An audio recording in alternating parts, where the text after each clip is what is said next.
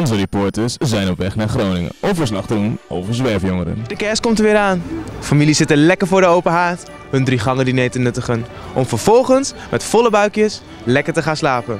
Helaas is dit niet voor iedereen weggelegd. En laten we eens kijken wat de stad Groningen daarvan vindt.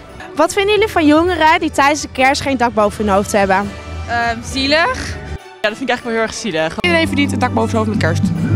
Van organisaties die altijd voor deze jongeren klaarstaan en een dak boven hun hoofd geven. Uh, geweldig. Nou, omdat ze anders zielig zijn. Ja. Je hebt een traantje echt dichtgeleid. Ja, iedereen moet toch gewoon een ja, dak boven zijn hoofd hebben. Vooral met kerst. En uh, ja, kerst staat toch ook voor gezelligheid. En als je dan in je eentje op straat bent, uh, is het natuurlijk niet leuk. Vandaag zijn we bij Stichting Heemskijkhuis in Groningen. Hier hebben wij een afspraak met Jorn Broesders. Dit is een teamleider van Campus Hoendiep.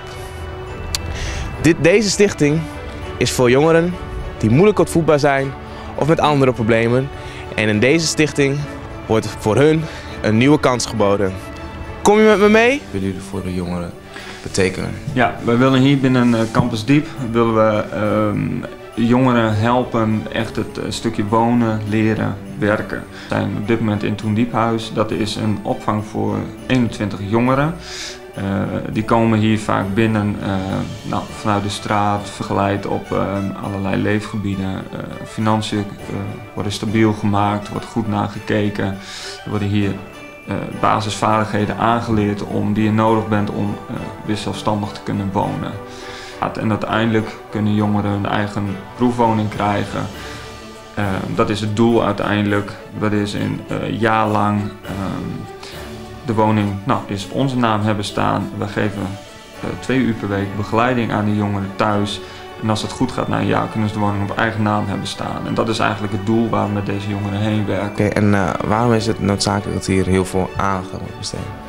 Nee, het blijft natuurlijk nog steeds te veel zwerfjongeren. Vorige week is er ook weer eh, in de Volkskrant stond het, het onderzoek is uh, afgerond dat er gewoon dit jaar weer meer uh, zwerfjongeren zich hebben gemeld bij opvangcentra dan jaren daarvoor. Groningen is een leidraad hierin. wat betekent dat voor de andere organisaties in Nederland?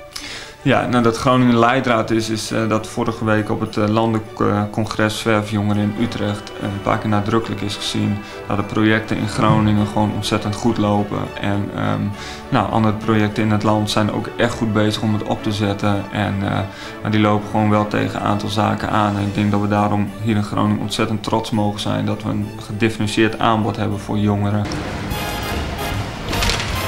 Wat uit onderzoek van vandaag is gebleken, is dat het supergoed is dat er stichtingen bestaan die deze jongeren opvangt. Ik ben er in ieder geval bewust van geworden. Jij ook? En dan nu, vanuit Groningen, terug naar de studio.